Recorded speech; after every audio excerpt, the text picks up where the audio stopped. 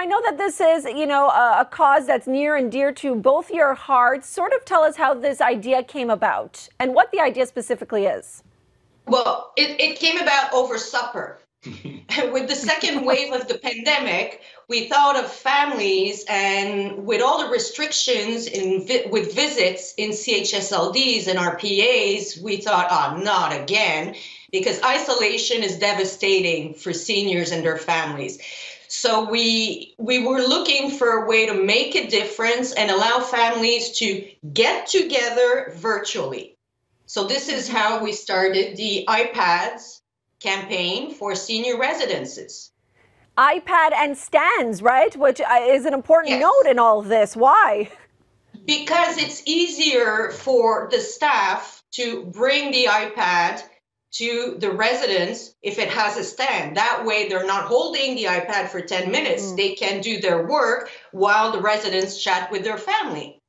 It's our secret weapon for them. And the feedback has been you know, great from the staff you know something you hear so much about you know during this pandemic is is the fact that what a travesty it is that so many people these seniors especially are left alone.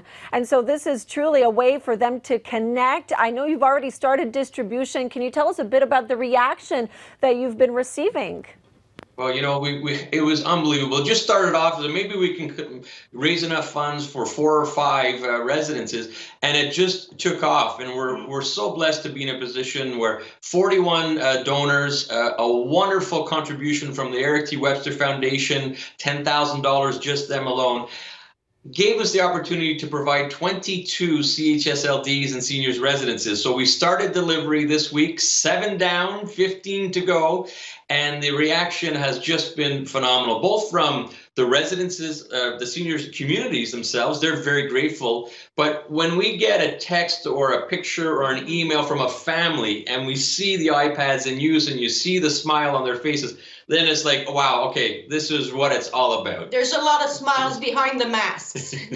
yeah, behind the mask. It's incredible. I mean, technology has really, you know, truly been our savior this year. So it's such a great initiative. Is there any way that we can help? Are you still looking for donations?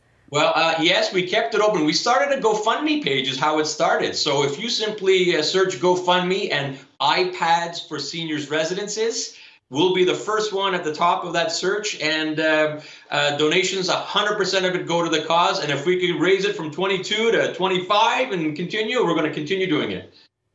Okay, I can let you go before asking you about uh, the CHSLD Herron because I know, Matt, that you're uh, involved with that file. Of course, they announced recently that they are closing down, so seniors, residents there have to be relocated. Can you give us an update on that file?